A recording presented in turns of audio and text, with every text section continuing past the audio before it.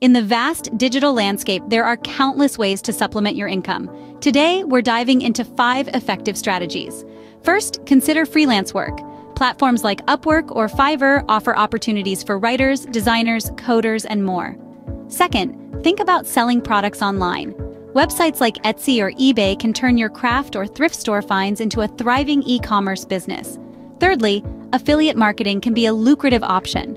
Promote products you love on your blog or social media and earn a commission for every sale made through your link.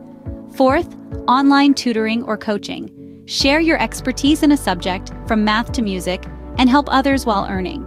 Lastly, consider creating an online course. Platforms like Udemy allow you to share your knowledge and get paid each time a student enrolls.